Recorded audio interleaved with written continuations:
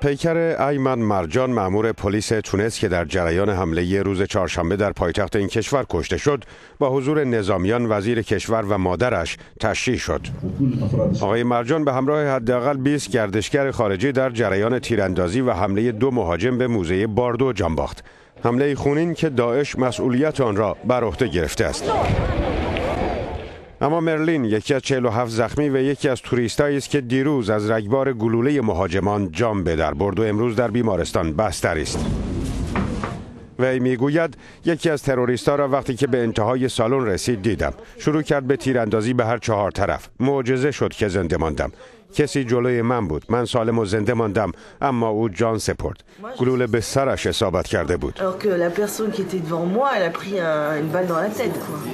مرد گردشگر فرانسوی دیگری انتخاب بسیار سختی داشته است. آیا باید پسرش را نجات می‌داد یا همسرش را؟ می‌گوید باید بین پسر کوچکم و زنم یکی را انتخاب می کردم خودم را برای محافظت پسرم به رویش انداختم و نتوانستم از زنم محافظت کنم. زن این مرد فرانسوی نیز خوش شانس بود. او جان به در برده در بیمارستان بستری است و خطر مرگ تهدیدش نمی کند دو شرکت ایتالیایی که کشتی های تفریحشان در بنادر تونس لنگر میانداخت اعلام کردند برنامه سفر کشتی های تفریح خود به تونس را لغو کردهاند.